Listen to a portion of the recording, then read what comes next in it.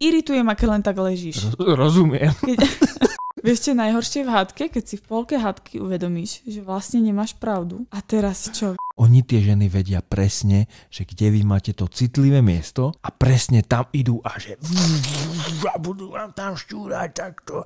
A ty sa cítiš ako podpapučník? Nie. Som? Nie.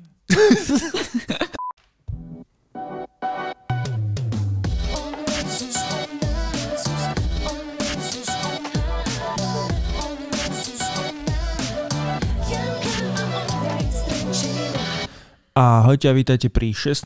pokračovaní nášho podcastu On versus Ona, a.k.a. všetky ženy na Instagrame a TikToku versus všetci muži uh, na Instagrame a TikToku. Ja mám také dve úvodné veci, ale môžeš dať ešte takú predúvodnú, keby si chcela niečo také akože... Nič? Kľudne, kľudne rozprávaj. Čo máš, mám čo na úvod? Čo je taký highlight týždňa? Highlight týždňa? Highlight týždňa je podľa mňa téma, ktorú chcem s tebou rozoberať. Áno? Mhm. Oh shit, to už vidím, že to nedopadne dobre. Ja mám na úvod dve veci, prosím vás, dneska čo sa udialo, ja si to neviem odpustiť, aj keď som to strašne som sa sám seba presve- Nie, nehovor to. presviečal, že to dám až na live stream, ale toto sa mu, to musím proste. Jako ona sa dneska na mňa nasrala. Viete na čo? To je ako nepochopiteľné, hej, že stanete unavení, rozbití po 5 hodinách spánku, venujete sa dieťaťu, skáčete tu s ním z gauča, proste hráte sa s autičkami, potom si na dve minúty trošku lahnete aj s tým dieťaťom, ona sa nahneva, ty si len tak lahneš. Ty si len tak lahneš. To tak vôbec nebolo. To, to, to, to, to je... V reále to bolo tak, že sme sa chystali preč a mali sme nakrmiť si na, pobaliť proste milión vecí okolo odchodu z bytu a ty si si lahol na postel. A ja som teda nevedela, že akože, ako halo, že však máme chystať veci, nie? A Vyvenčiť ty si sa. tam inak ležela tiež, vieš o tom? Idem práve povedať, keby si mi neskočil do reči. A ja si teda hovorím, že ty kokos, tak čo môžem urobiť? Že akože nejakú protiobranu? Zahájim tiež ležanie? Tak som tak hovorím, že no tak teda, keď ležíte, že aj ja si lahnem. Som si lahla a oni nič. A sa dívam, že im to asi nevadí proste. A mi, prečo by nám to malo vadiť, že ležíš? Veď to, my sme leželi, všetci, No, lebo sme Čenko mali- prišiel si lahnúť. lebo sme mali milión vecí vybaviť, aby sme všetko stihli. Ale my sme sa ležali. nikam neponáhľali, žiaden Ponáhľali. deadline. Vieš, keď máš milión vecí, ktoré treba urobiť a ten chlap si tam, no irituje ma, keď len tak ležíš. Roz, rozumiem. Keď, keď máš proste robiť to, čo chcem. Mamina, aj ja ťa strašne ľúbim. Mhm. Strašne. No proste, pre ženu není nič horšie ako nič nerobiaci chlap. Rozumiem. Proste Za len to, tak za to ležiaci. nie sme platení, to sú voľne, prestoje. Presne. Oh man. Chápete to? Jako, ako je niekto môže byť dobrovoľne vo vzťahu? Však kašlíme na to. A však ty si dobrovoľne žijeme- vo vzťahu. Žijeme si svoje šťastné životy. Ľudia, nežente sa, ne, ne toto, nepárte sa. Na čo? A však ty si dobrovoľne vo vzťahu. Áno. a taký seš s náma táto šťastnej a moc.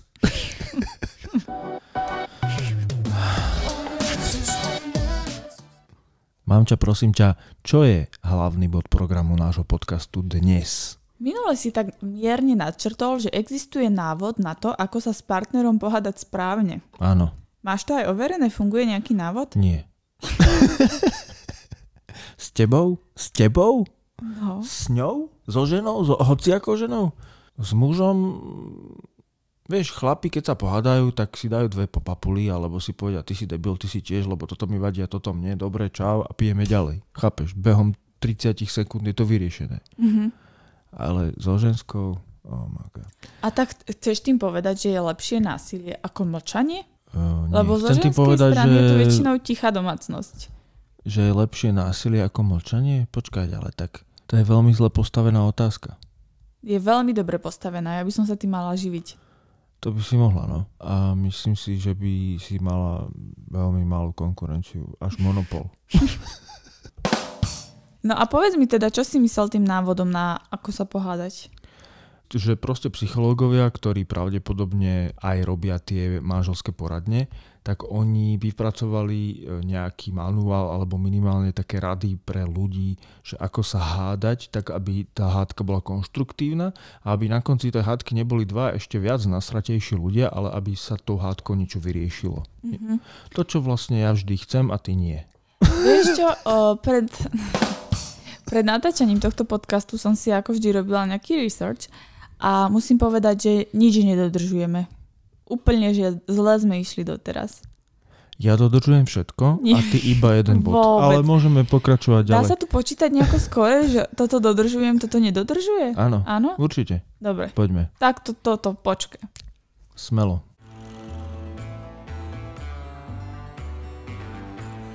Čo tam máš? Daj. Takže, hneď prvý bod je, hádajte sa, až keď vychladnete a tu poprosím napísať bodík nad moju hlavu. Akože ja sa snažím uh, dať tomu nejaký odstup časový, premysleť si, niekoľkokrát si idem v hlave tú hádku a potom prídem ako za tebou. Ono to síce je malý časový odstup. Dve minúty. Nie. Kým prejdeš 20, chodby do kúpeľne. 20. Je to malý časový odstup. Ono by to malo byť, že, čo, že na druhý deň, na tretí, hej, ale potom kto by sa už o tom potom hádal? To už sa mi nechce, jednak sa mi nechce a druhá, kto chce byť dva dní nasratý? Veď ja, ja potrebujem ísť do roboty, niečo tam spraviť, niečo vytvoriť a ja nemôžem, lebo ja tam sadnem nasratý, že si nasrata. No, lenže potom, vlastne ty, keď sa s niekým pohádaš, alebo máš nejaký spor a riešiš to s horúcou hlavou, tak z toho vznikne taká sopka, no, že aj tak na konci zostaneme nasratí a nič sa nevyrieši. Preto sa snažím ten odstup mať aspoň tých 20 minút a potom prísť za tebou, že poďme sa porozprávať. Vieš? No však áno, ja viem, no. Áno, však dobre, máš bod. No a čo? Však dobre máš bod. Ale vieš, tých 20 minút väčšinou vyzerá Dobre, tak. máš bod. Na. Tých 20 minút väčšinou vyzerá tak, mm-hmm. že tu beháš jak taký tiger v klietke a vôbec nevychladneš. Snažím sa ale o to. Takým ako no to, šaolínsko-mnížským spôsobom. Mm-hmm. Ale už niektorí veľkí rečníci a takí pozorovatelia toho, že ako sa ľudské správanie vykonáva, hovoria, že nedá sa okamžite ukludniť. A práve preto ja som za ten názor, že keď sa my pre niečo posekáme, mm-hmm. ide nejaký spor, tak ja s tebou nechcem byť v kontakte. Ja si ťa vymažem s priateľov. v reálnom živote. Lebo keď mám tú horúcu hlavu a my by sme to začali riešiť, tak ja viem, že my by sme sa tak pohádali, že by sme išli od seba. Preto ja chcem ten svoj chill, proste nechať si to aspoň deň uležať v hlave a potom sa o tom môžeme porozprávať. Ale nie, ty za mnou prídeš a povieš Lenže... no tak a začneš do mňa píchať jak do osieho hniezda. Lenže, lenže vieš, vieš, vieš, čo je problém? Ty nepovieš, že necháme to zo pár dní tak a potom sa konštruktívne porozprávame. Toto, toto tak neprebieha. Viete, ako to reálne prebieha? Ja už s tebou ten podcast nikdy nebudem točiť a zábal si to a končíme. Ja, už sa, ste, ja sa chcem s tebou už rozísť a ja už tu nebudem, ja už tu nikdy nebudem. Tak toto pre, to je inými slovami chcela povedať, že dáme si 2-3 dní na ukludnenie a potom sa o tom porozprávame. Ale však... Ale však a vo ty... vás, to, vo vás tuto bublinky idú, vám to tu vrie, rozumieš? Tak to ti z uši. Jasné, Zlatko, porozprávame sa o 3 dní, to je v poriadku. Dáme si konštruktívnu no už, debatu už na 11 vidím, bodov. ako s niekým proste máš vyhrotený spor a nechceš to riešiť kvôli tomu, aby si nevybuchol a prídeš za ním, že Zlatko, zajtra sa porozprávame. no neexist. Proste sa urazím. Však v poriadku. Máš na to nárok. A ty so mnou nebývaš týždeň, aby si nevedel, že OK, teraz okolo po... nej potichu. A máš pocit, že to už som to neprečítal? Že sa hneď no, nebalím a nejdem do no, kanclu? Lenže ty sa balíš a keď už máš pobalený rúbsak a máš odísť, tak za mnou prídeš a niečo, čo ti išlo v hlave tých 10 minút, tak ty prídeš a riskneš to, že proste hodíš to polienko do toho ohňa a to no lebo proste mám, mám pocit, že ty si ako vystrelal na mňa t- všetky argumenty a ja som bol ticho, lebo som nechcel pridávať ten, ten olej do toho ohňa a potom zistím, že ty vole, ale večak, ja som si vôbec ne, ako nedal nejakú svoju pozíciu. Som, vieš, ako keď sa vyjednáva, že každý že dá svoju pozíciu, že nejakú mm-hmm. začínajúcu a potom sa jedná o nejakom kompromise a ja, a ja zistím, že ty, ty si na mňa vystrelal 5000 vecí, samozrejme si porušila aj ten jeden veľmi zásadný bod, ku ktorému prídeme. A potom ja zostanem, že dobre, tak sa balím a idem do kanclu, nechám ho, nech sa vychladne a potom sa porozprávam, potom mi napadne, ty vole, ona na. A, a najlepšie, že oni tie ženy, oni tie ženy vedia presne, že kde vy máte to citlivé miesto a presne tam idú a že a budú vám tam šťúrať takto. Ako keď niekoho one, keď v tých filmoch mušketierských niekoho tak prebodnú, tak ale čo mušketierských, to sú tie barbarské kmene, také úplne tie šialený, to nafetovaný tými hrybami v tých prvých líniách, tam one s tými tupými sekerami, tak tomu to tam bodne, vieš, to kopiou a nie, aby to vyťahal a spraví, že tak to zatočí, vieš, tak to je presne ono. Presne ono. Ja to iba hrám. Takto, aby bolo jasné, OK. naše hádky sú není o žiadnej argumentácii, to je one man show. OK, bod číslo 2 je zakažte si slova vždy a nikdy. Toto je naozaj podľa mňa strašne dôležité nepoužívať, pretože kľudne povedzte väčšinou, kľudne povedzte často, ale nepoužívajte tieto dve slova, lebo to je fakt taká zákerná dýka do srdca, že vy sa častokrát snažíte predísť tej hádke a kúšete si do jazyka a to nikto nepočíta, koľkokrát vy ste proste sa prispôsobili tomu druhému a proste nešli ste do toho konfliktu a on ráta iba to tie vždy, kedy sa pohádate. A to je proste strašne nefér. A ja napríklad toto slovičko vôbec nemám, neberiem ho nejako citlivo. Že Mhm. keď mi v hádke povieš, že a ty vždy nechávaš teplačky na No koši na lebo pranie, ja to nepoužívam. Určite. Mhm, prosím si cinknúť na mojom mieste bod pre mňa. Pokračujeme ďalej. Bod číslo 3 je, nepoužívajte nadávky, vyhrotia konverzáciu a nezvyšujte hlas. A to je presne to, čo je pre mňa najväčší impuls počas hádky, keď Mhm. my niečo riešime. A nedávno sme to spomínali aj na live streame, že my sa ideme tváriť, že sme dvaja dospelí ľudia, ideme to proste vyriešiť rozumom. Sadneme si, Ondrej si nachystá tento zápisníček Aby som neskakal do reči. No a v tom tam stačí jedna veta a Ondrej vybuchne, na to vybuchnem ja a proste je to celé v pečku. Lebo na mňa, keď niekto zvýši hlas, čo je len o trošku, že zaznamenám, že proste už je tam nejaký ten tlak, Mhm. tak ja mám tendenciu sebaobrany. Mhm. Musím povedať, že som veľmi rád, že si tak seba reflexne do toho dala, že aj ty zvyšuješ ten hlas, že teda nie je to také ako, že túto budeme mať bod pre teba, takže toto je stále remíza. No, myslím si, že tu nezískame bod akože ani jeden, Mhm. lebo jeden z nás zvýši hlas a ten druhý má tendenciu ho dorovnať. Mhm. Vieš, Áno. že my sa Alebo tak akože... väčšinou pre, prebiť. prekričať. Hej, Mhm. hej, my sme také silné osobnosti v tomto. A Takže, vtedy to presne dopadne tak, že my odbočíme úplne od tej témy a Mhm. už na seba iba kričíme, že a ty nekrič po mne, ja iba hlasno rozprávam, ty po mne a tie kričíš. nadávky, To asi nepoužívame.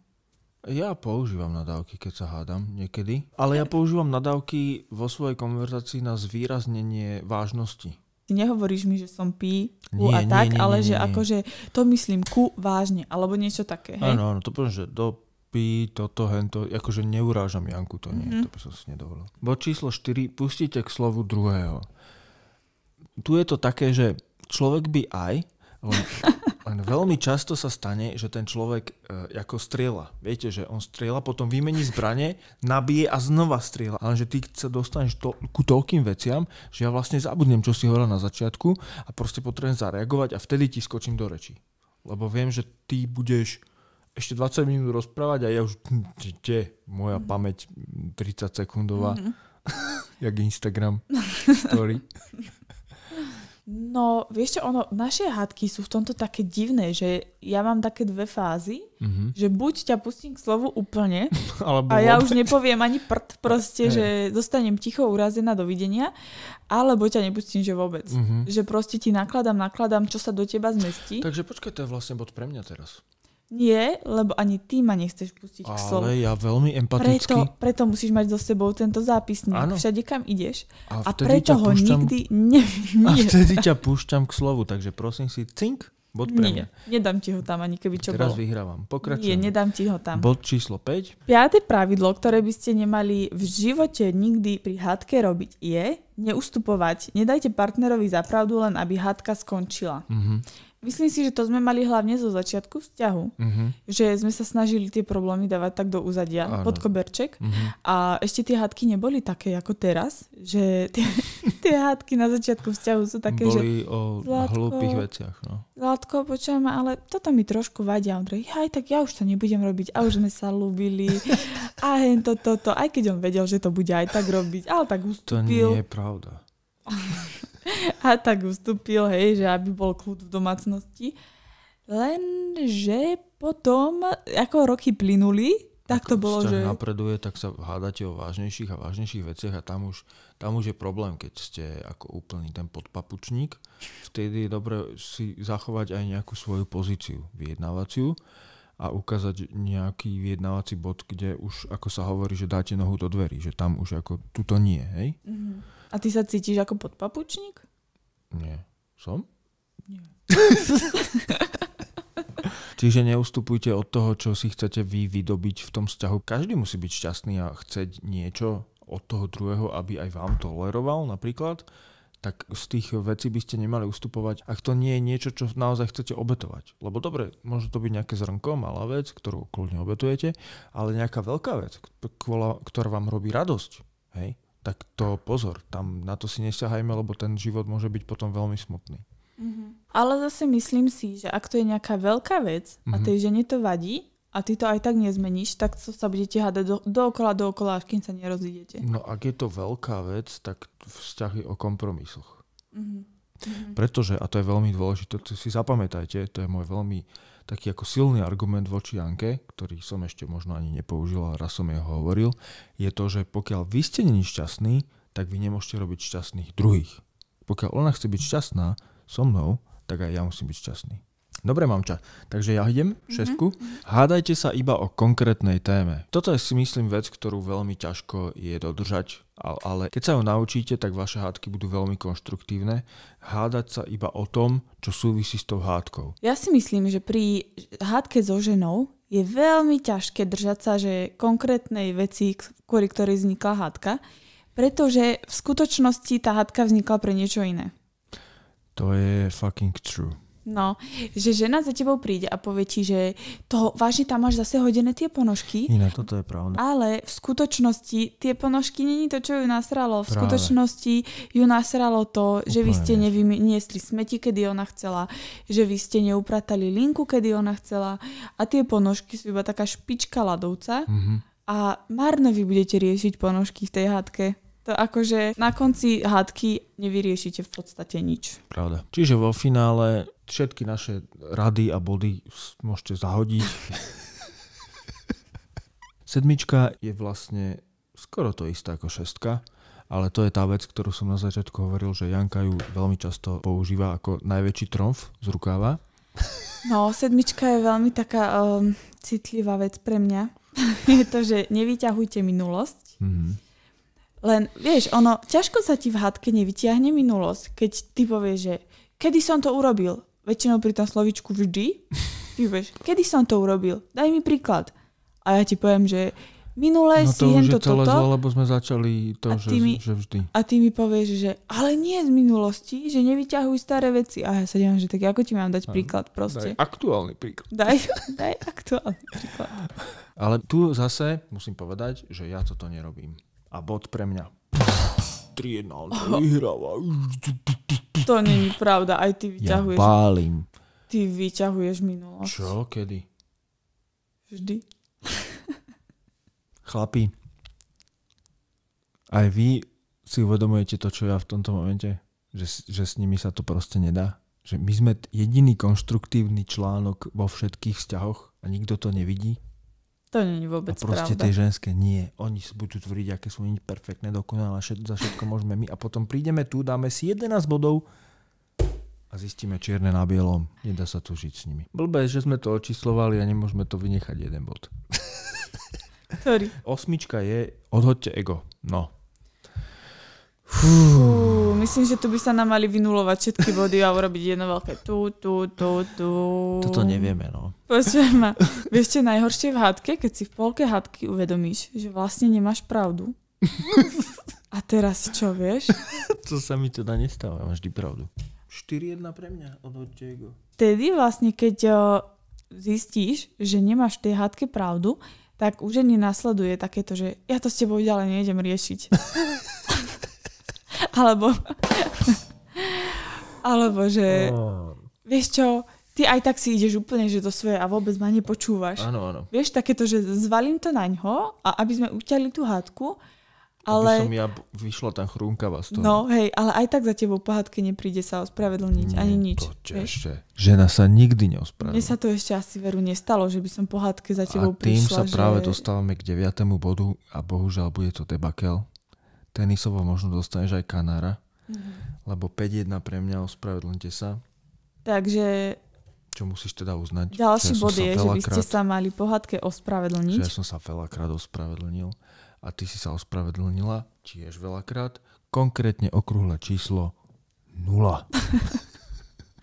Alebo pamätám si, že raz som sa ti prišla ospravedlniť za niečo a ty si mi povedal, Ale že počkať. what? Počkať, počkať, Že počkať, čo? stop, stop, stop, držte, držte, držte.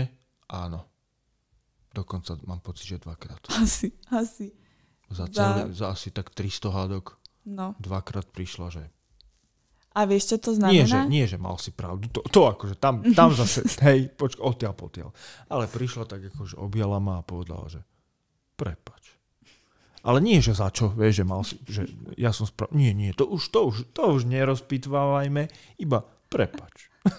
Aj to bolo Ja také, sa že nechcem hádať. človek Ja má, sa nechcem hádať. človek má chuť si to prepač nahrať na telefón do diktafónu a iba mu to položiť na stôl a pustiť a odísť.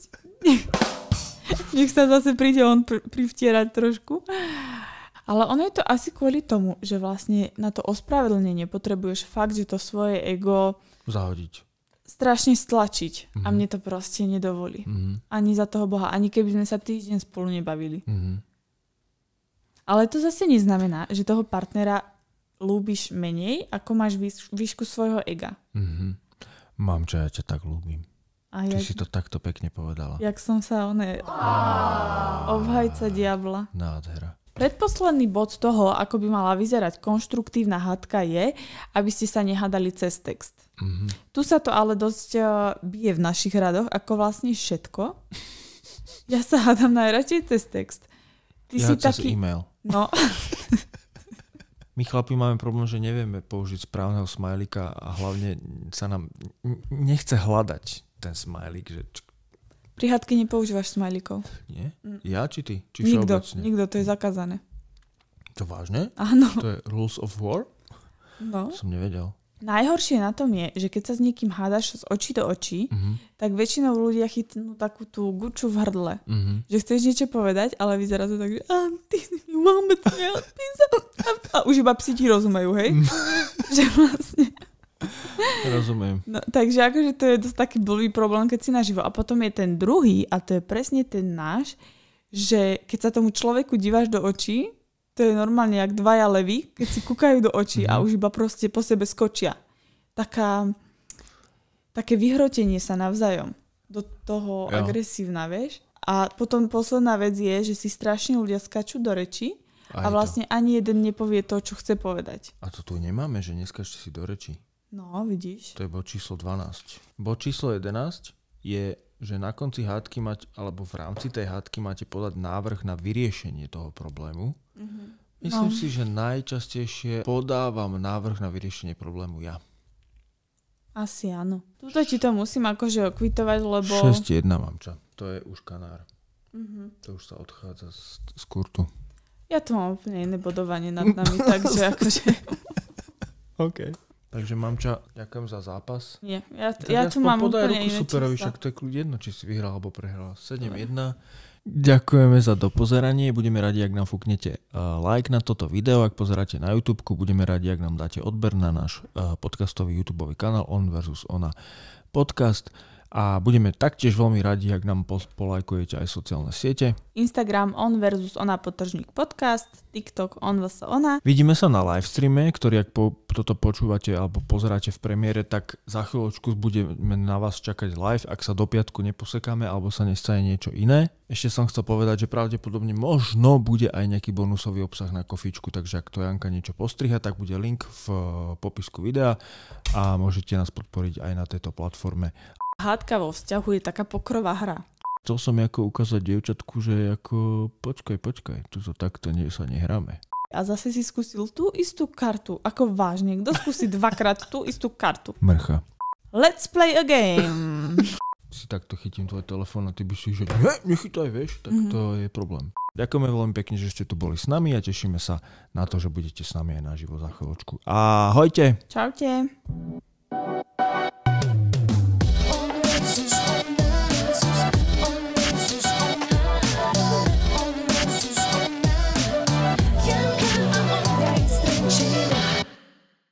Môžeš pre pobavenie mužského publika a nasranie ženského popísať, čo som práve spravil. Čo si práve spravil? Vymenil som si tričko a to tričko, čo som dal zo seba dole, som niekde dal. Niekde na zem? Mhm. To som už maril pri kúpeľni. Ja už to ani neregistrujem, vidíš? Nie? Nie. Ja už to beriem ako prirodzenú Mamčo, ty súčasť. si, ty sa norm... za chvíľu ti narastie penis.